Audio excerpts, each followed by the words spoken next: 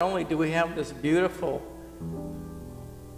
beautiful heavenly family and heavenly home, but we have a family of God. We have brothers and sisters, not only at this church, but all over the world. We praise you for that. We give you glory for that. We're so grateful for that. That you thought of us, that you would even bother to go out of your way to stand outside of the door of our lives and knock on that. Sure, you could barge your way in, God. You could do that. But you're loving and you're kind and you've given us free will. You've given us the ability to say yes to you and to open up to you. And we have an enemy who loves to keep that door closed. And so we come against the enemy does not want us to know you, who does not want us to experience your love, who does not want us to be filled with the Holy Spirit. who wants us to suffer and be lonely and depressed and anxious. So, for people all around in the sphere of influence of Sharon Church, those who are online, I pray this morning that even as I am praying, hearts would be open, minds would be open, lives would be open for transformation. We say we are a praying church, loving people to Christ.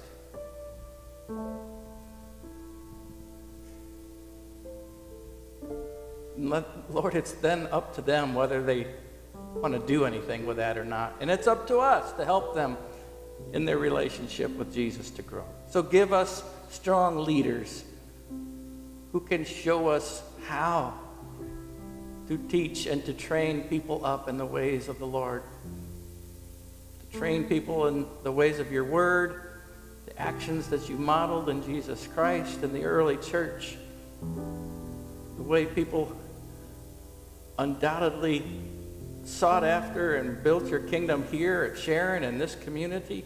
We stand on their legacy. We ask you that we would be able to build on top of that with confidence. And we know that that's your will. We know that your kingdom is being built with or without us. But you want it to be with us. Father, we do have this list, the written list and the, the read out loud list and the, the list that we carry individually in our hearts and in our minds of people and situations that, that just call out for your attention. And we know that you're a God who hears the cries of your children and responds.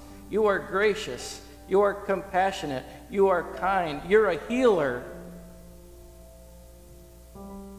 You restore broken things back to the way you created them. You, you take broken lives and put them back together. You can do that with marriages and bank accounts and credit scores.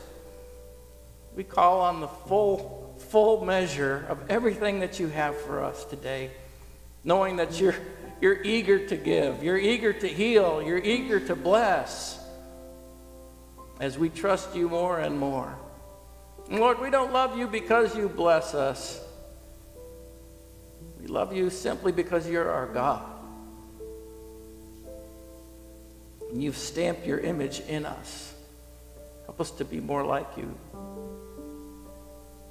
So indeed, Lord, we pray, we plead that you would heal the sick, that you would comfort those who are mourning the loss of loved ones, that you would come around people in war-torn parts of the world, places in the world where people are starving and have been for decades, wherever people don't know Jesus Christ, Lord. Make your glory known. There's nothing impossible for you. So we pray for miracles in this world. For those who are anxious and those who've sent their sons and daughters into military service and are wondering what, what's next for them. We pray your comfort and your confidence.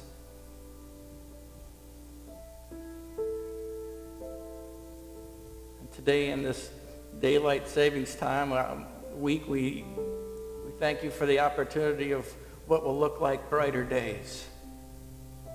Help us to walk in them, not just physically, but spiritually. To be people who love to walk in your light. And may we take the light with us, the light of your love, of your grace as your, and of your mercy. And now, together, we lift up the prayer that Jesus taught us. Our Father, who art in heaven, hallowed be thy name. Thy kingdom come, thy will be done on earth as it is in heaven. Give us this day our daily bread, and forgive us our trespasses, as we forgive those who trespass against us. And lead us not into temptation, but deliver us from evil. For thine is the kingdom, and the power, and the glory forever. Amen.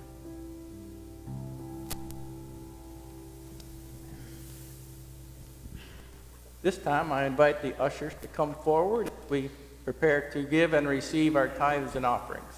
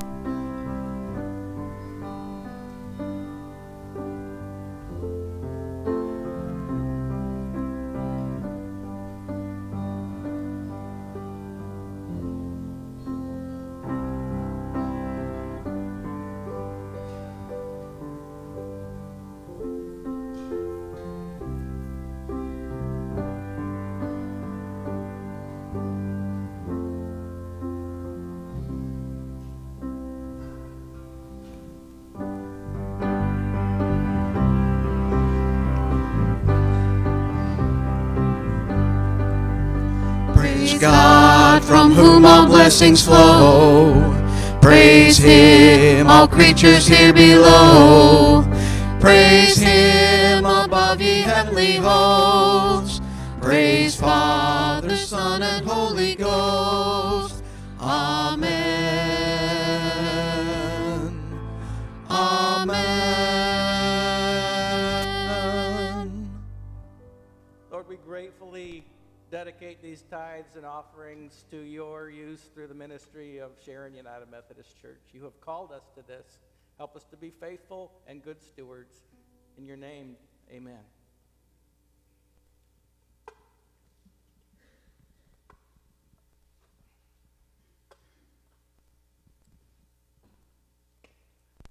Let's join together in saying what we believe in the Apostles' Creed.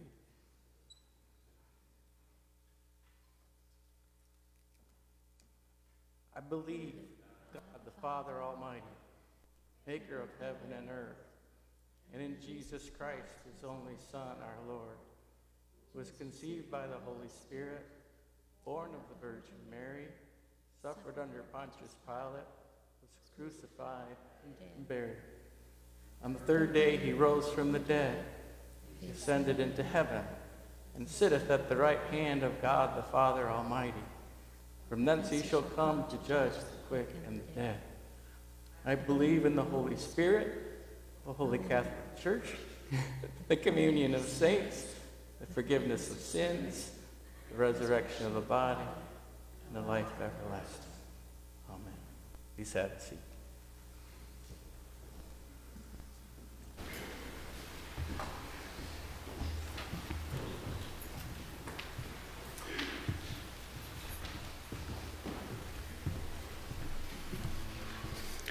Good morning.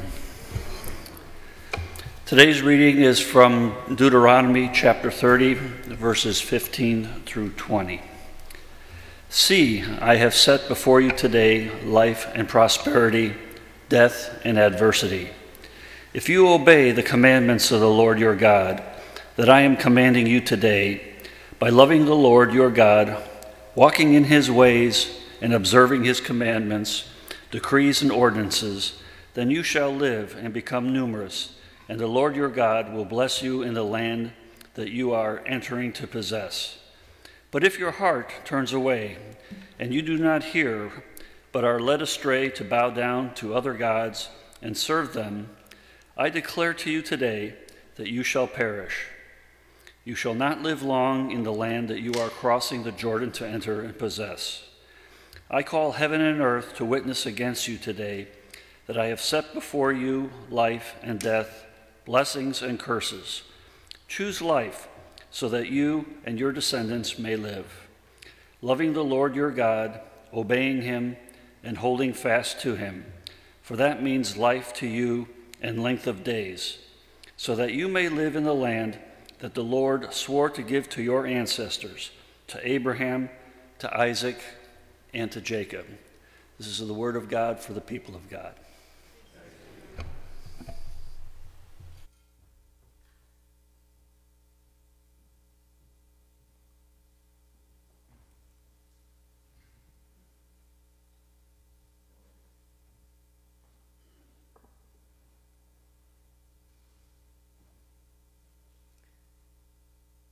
That's a pretty good deal from God, don't you think? I'll give you a choice.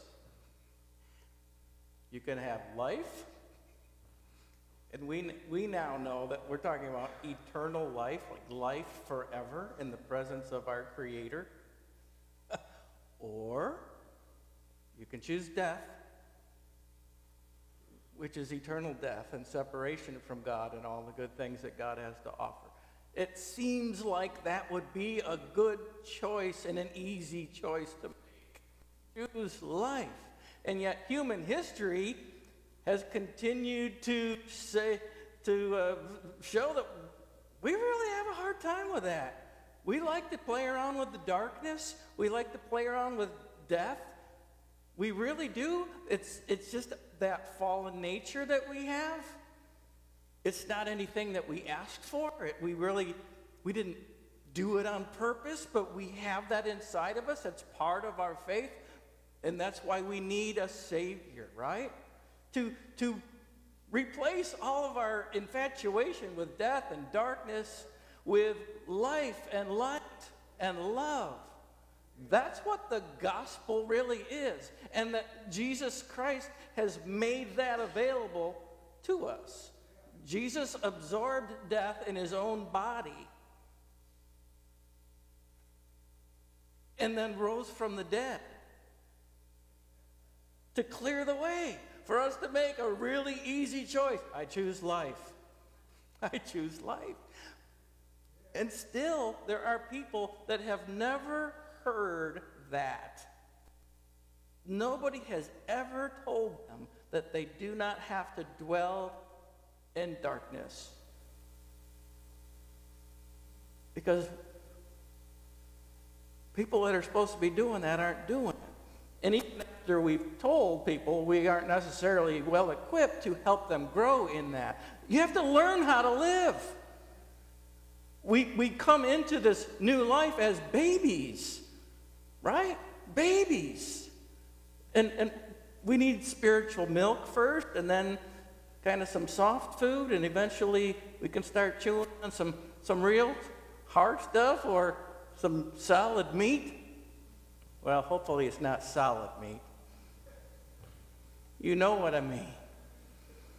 And so we're working through a series about discipleship, about creating a culture of disciples who know how to live the way of Jesus, but also who know how to invite other people into the life of disciples Jesus Christ and to teach them and to train them to the point where they can make disciples. We really have lost that in the church to a large extent. We have lost the ability to evangelize and to tell people the very simple good news, and then to help them to grow in that if they receive that. And so I'm I'm at least planting some seeds, and I hope that our church family will grab a hold of that and that will take some life and we'll see some very intentional opportunities for us to be trained in discipleship. And if that sounds kind of uh, hard, Or something like, what, what's the church have to do with training? I would tell you that that's all Jesus was doing with his disciples was training them. That's what a discipler is, somebody who trains.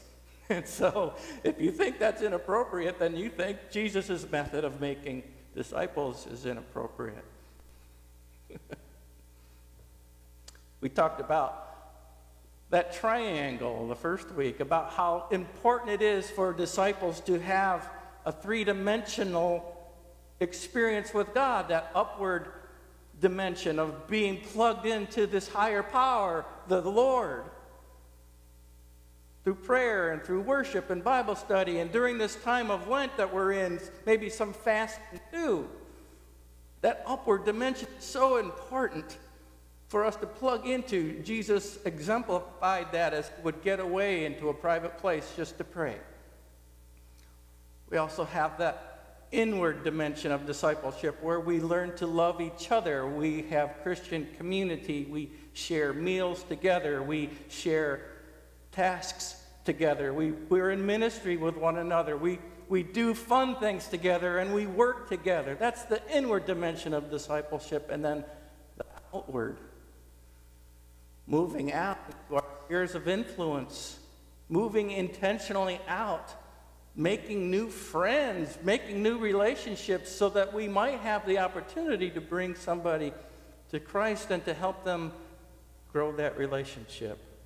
Today, I really want to talk about that part about how to think about invitation in the church but also how to calibrate that with the challenge of being part of the church.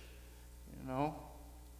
And so this is this is the topic today. In our gospel reading, you will see that Jesus gets 70 people, 70 disciples, and gives them a challenge. And so we finally got to the gospel reading.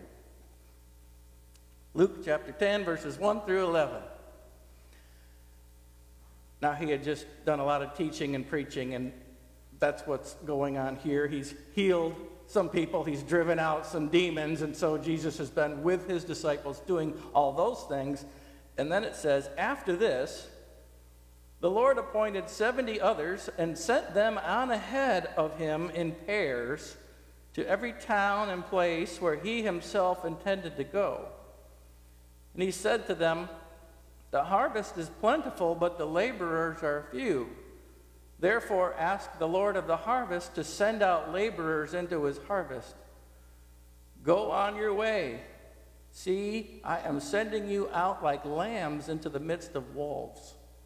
Carry no purse, no bag, no sandals, and greet no one on the road. Whenever you, eh, whatever house you enter, excuse me, first say, Peace to this house. And if anyone is there who shares in peace, your peace will rest on that person. But if not, it will return to you. Remain in the same house, eating and drinking whatever they provide, for the laborer deserves to be paid. Do not move about from house to house. Whenever you enter a town and its people welcome you, eat what is set before you Cure the sick who are there, and say to them, The kingdom of God has come near to you. But whenever you enter a town and they do not welcome you, go out into its streets and say, Even the dust of your town that clings to our feet, we wipe off in protest against you. Yet know this. Well, I guess I've gone a little further than that, but I'm going to finish this sentence. The kingdom of God has come near. I tell you, on that day it will be more tolerable for Sodom than for that town. And this is our gospel reading for us today.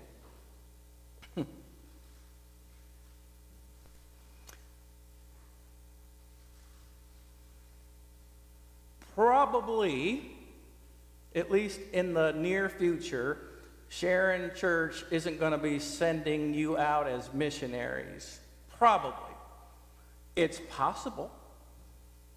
There's a lot of churches that do that. They raise people up out of the congregation. Some of them, they raise some pastors, but they also raise up missionaries. I don't know if there's ever been a missionary that has come out of Sharon United Methodist Church.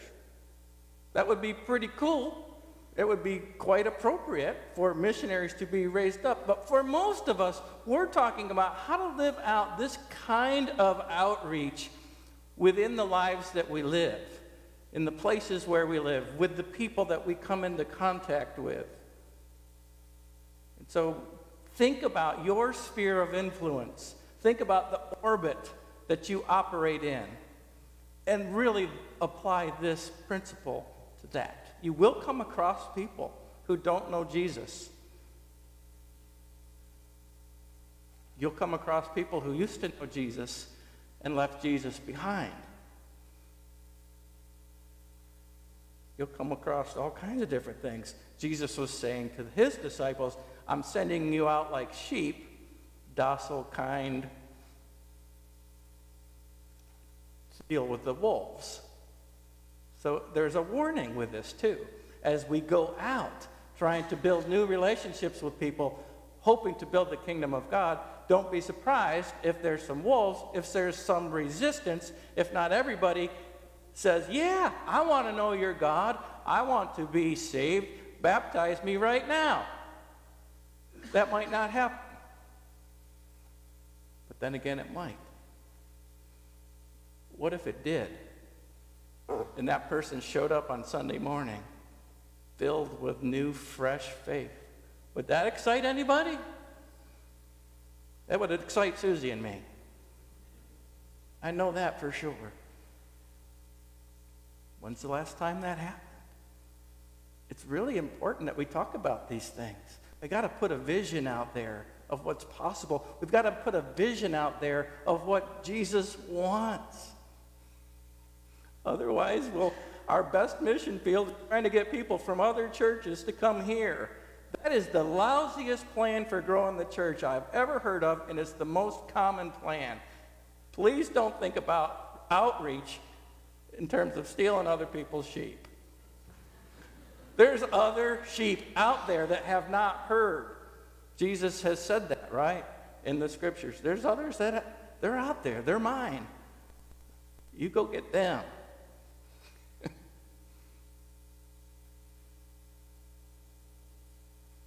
Jesus was the master of offering invitations to relationship. And Jesus was also the master, once people came into a relationship, of challenging them right off the bat. Imagine people that had been with Jesus, learning from him, watching him, maybe hero worshiping him a little bit. And all of a sudden, Jesus says, I'm sending you out now. You get to go in pairs. Don't take anything with you. And now you do the things you've seen me doing. All right. oh, and by the way, some of them won't like you, but some will.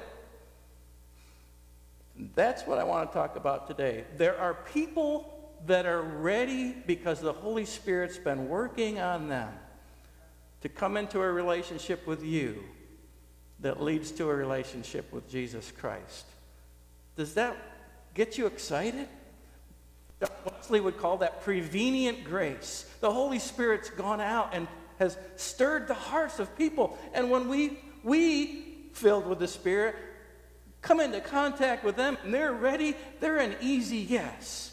And Jesus was sending his out, his people out looking for the ones who were an easy yes. They were people of peace. There were other people that didn't want anything to do with their mission. And basically, Jesus says, try, try with them. But if they're not open to you, you go somewhere else.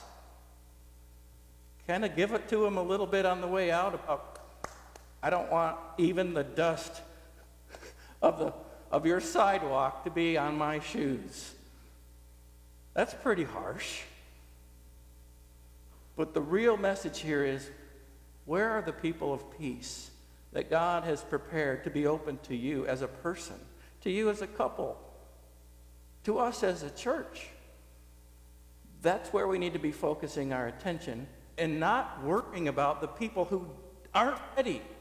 They're not ready for us. It's not our fault. It's not even their fault. They're just not ready for us. Jesus could calibrate that. He was really good at it. There are people out there that would love to join up with a church like this if they even knew how. We can help them. We can help them join up. There's a, there's a metaphor in the horse world. I am not a horse expert, uh, but there is lots of evidence about how horses are herd animals, right? Some of you know horses real. They're herd animals. They're not supposed to be by themselves. They have to be in a herd. They have to be in a pack of horses for protection, for fun, for romance. They can't be out there by themselves. They can't survive very long outside. And so out in the wild, there's this there's this dynamic where a herd will be led by a lead stallion or whatever, and there's always a lead mare too, who kind of has the power to welcome people in, or horses, or to make sure they stay out. There's this thing called join up, which is so interesting, and what will happen is let's just say the herd is behind me and I'm the lead mare and there's somebody out there. Let's say it's Karen. Say, raise your hand, Karen. And Karen really wants to be part of the herd. She's lonely. She needs people in her life. She needs other horses. and so she starts coming around and sniffing around and hanging around outside. And the lead mare, there's this, there's this thing called join up where the lead mare will go out just a little bit and turn her side, show her flank, which is a sign of vulnerability that basically says, you can come in a little. And so if that, if that horse starts coming in a little bit, here's the, the challenge part. The lead mare will square up and look her right in the eye, which is stance of authority, which backs her off a little bit. So just so that, so that she knows I am the boss. But then more vulnerability, showing the flank and showing the side, welcoming to come in. Eventually, over time, with this kind of a dance that goes on, there's, there's almost, I'll, my wife is right there, so I can get away with this. Will you come up here just a bit? Eventually, we get to reenact that. Eventually, there's, uh, uh, yeah. Eventually, there's a join up. There's a, trusting, there's an actual physical touching, probably some smelling, and talk about the, their, their mouths get moist and they start licking their chops and they're ready for the lead mare to bring in the new member of the herd is joining up. Without the challenge part, it's no good because there is a natural pecking order within that herd and the new member needs to understand how things work in the herd. And that's even true in a church family. There's a certain way we do things, there's a certain way we don't do things. So just want you to know on the way in. And what church talks like this? Most church talks like, let's do anything to attract people to come. Well, no matter what they do, we're good with it because we just want them to come. We're desperate for new people. But Jesus would have us say, we, Of course, we want you to come. But if you're going to be part of us, you, there's certain things you can't do, and there's certain things you, you have to do. Yeah, it's a give and a take, it's invitation and it's challenge. Jesus is famous for saying, Follow me, right? Come be my disciple. Jesus is also famous for saying to those same people, If anybody's going to follow after me and be my disciple, they have to deny themselves every day, pick up their cross, and follow me. Is that invitation a challenge? I think so. He was unapologetic about the challenge part because he knew that that's how people would really understand that being included came at some price. You know, I, remember just when I wanted to be on the football team when I was younger, when the coaches weren't looking, the older guys would just beat the snot out of us younger guys. It was a rite of passage. I'm not saying that's right. I'm not saying that anybody should ever do that, but it was something that happened. And if we could survive that, we became part of the team. I, I hope that never happens again. Gangs. You can't just join a street gang, I guess, without being beaten up and bloodied. There's something about this. For us, it's more like you take a pledge on the way into the church where you say, I, I promise, I, I believe in Jesus, and I will support the ministries of the church, and I'll be here. I will put some money in the offering. I will volunteer when something needs to be done. That's the challenge we get. That's not so bad, is it? That's not so bad. But if we don't offer that challenge, then what's the use of anybody ever joining? Where's the commitment?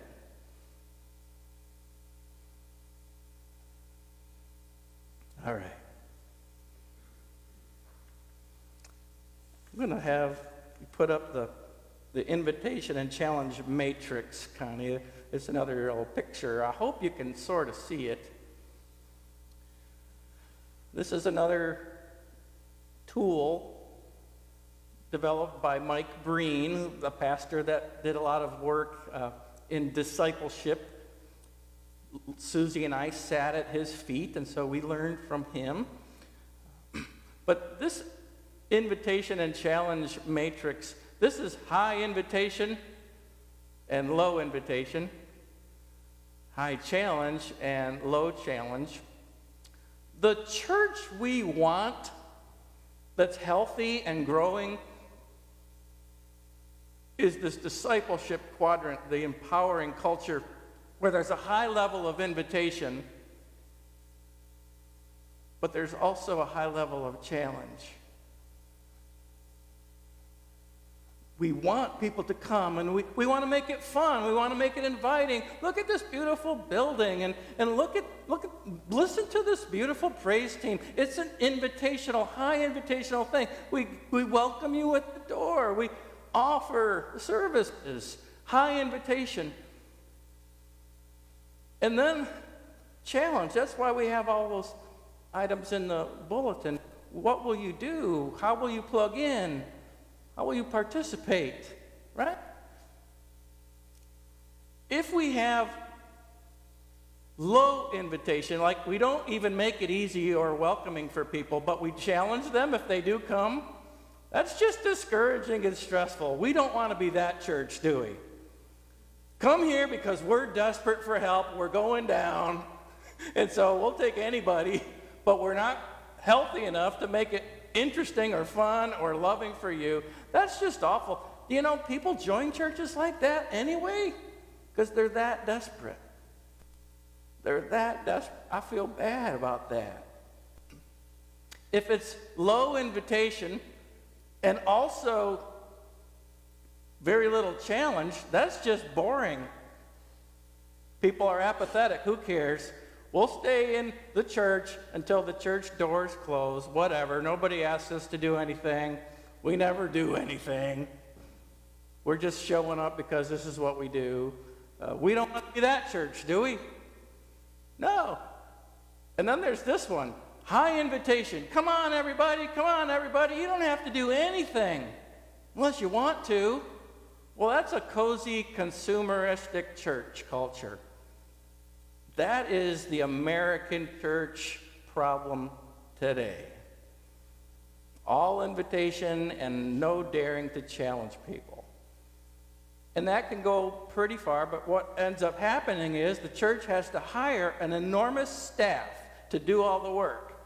And then we have to find money to pay the enormous staff to do all the work, but that work is really for the laity.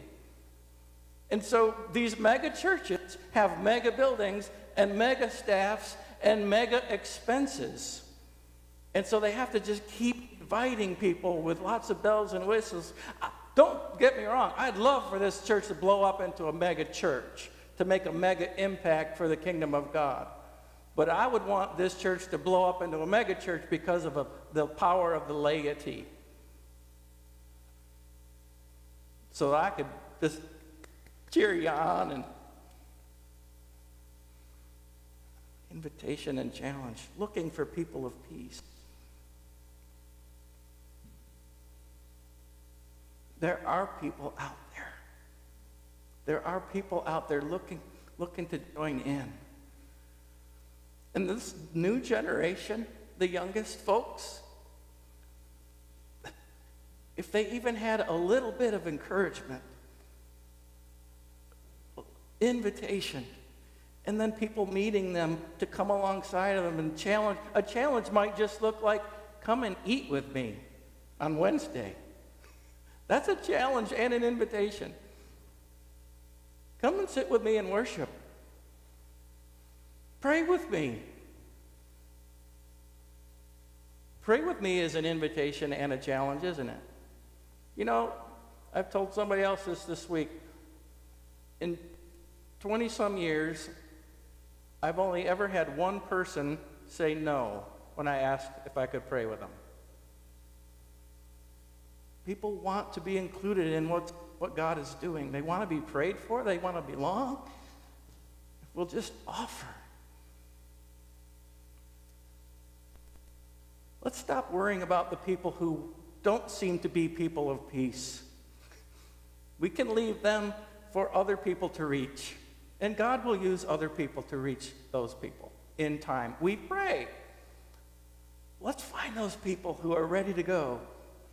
The people who are kind of hanging out on the fringes of your life, sniffing around, seeing if you'll let them in.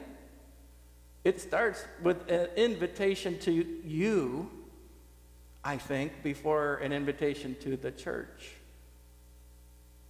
Sometimes it can work the other way.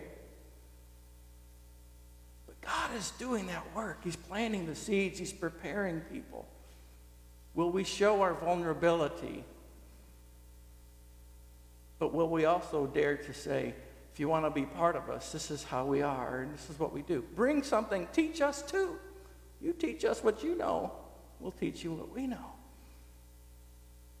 Most important thing that we know is that God loves us so much, He gave His only Son that whoever believes in him will never die, but have everlasting life. That's worth sharing.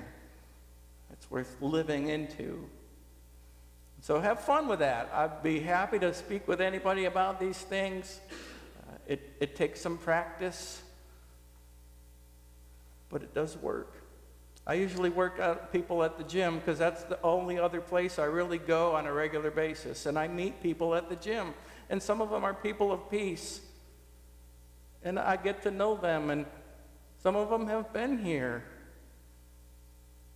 That young guy that was here, I won't say his name. It was all. It was exciting. He wanted to be baptized, and everything. he got so excited about his faith that he found another church that had more kids his own age, and he's thriving there. I think that's pretty good. I wish he'd stayed here, but but that's what a joy! What a joy!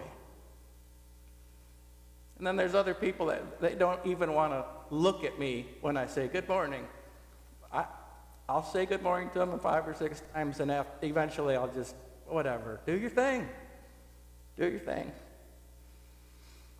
Chuck, man, I'm glad you sniffed around for like one week, and then all of a sudden you're like, what, how can I plug in? And little by little, y'all have welcomed Chuck into the church family.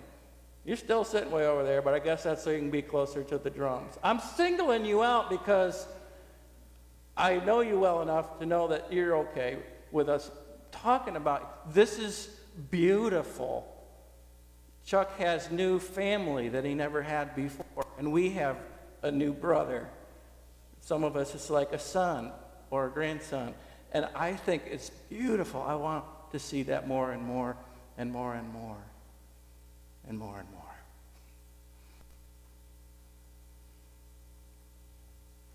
If we're making disciples, then we're looking for what God is doing. And we're leaning into that. And God is calling people. Let's pray. Lord, it's exciting to think about how your kingdom grows and how you have called us and trained us to be on the lookout for people of peace. We want so much to make a difference for you, for your glory. We want to see more people open up the doors of their hearts to receive you in. We love you for loving us. We pray your blessing over our church family as we bless you and as we bless our neighbors. Help us to not miss any opportunity to invite people into our world. And you are our world. I pray in your name, Jesus. Amen.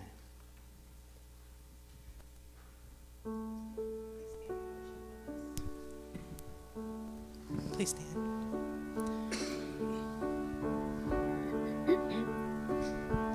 You take what is and you make it beautiful. When love floods in, we're restored forevermore.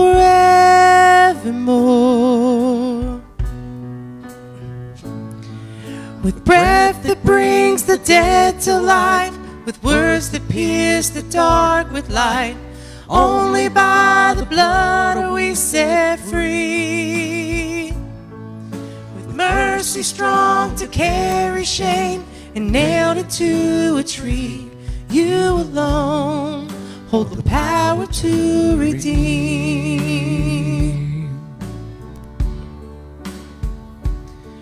No guilt competes with innocence crucified. No grave can hold what your grace has justified. With breath that brings the dead to life, with words that pierce the dark with light. Only by the blood are we set free. With mercy strong to carry shame and nailed it to a tree. You alone hold the power to redeem. Rejoice, O child of God Lift your eyes to see with every morning light. Again we are redeemed. Rejoice, O child of God. Lift your eyes to see with every morning light. Again we are redeemed.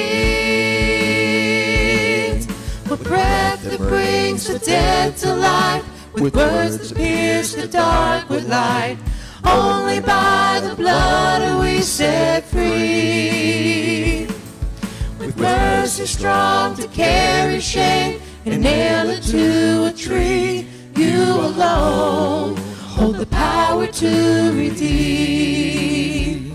Oh, you alone hold the power to redeem.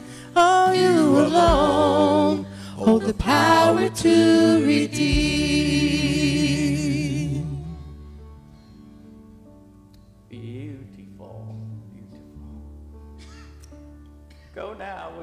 In your hearts and confidence that you you have something that people need. In the name of the Father and of the Son and of the Holy Spirit. Amen.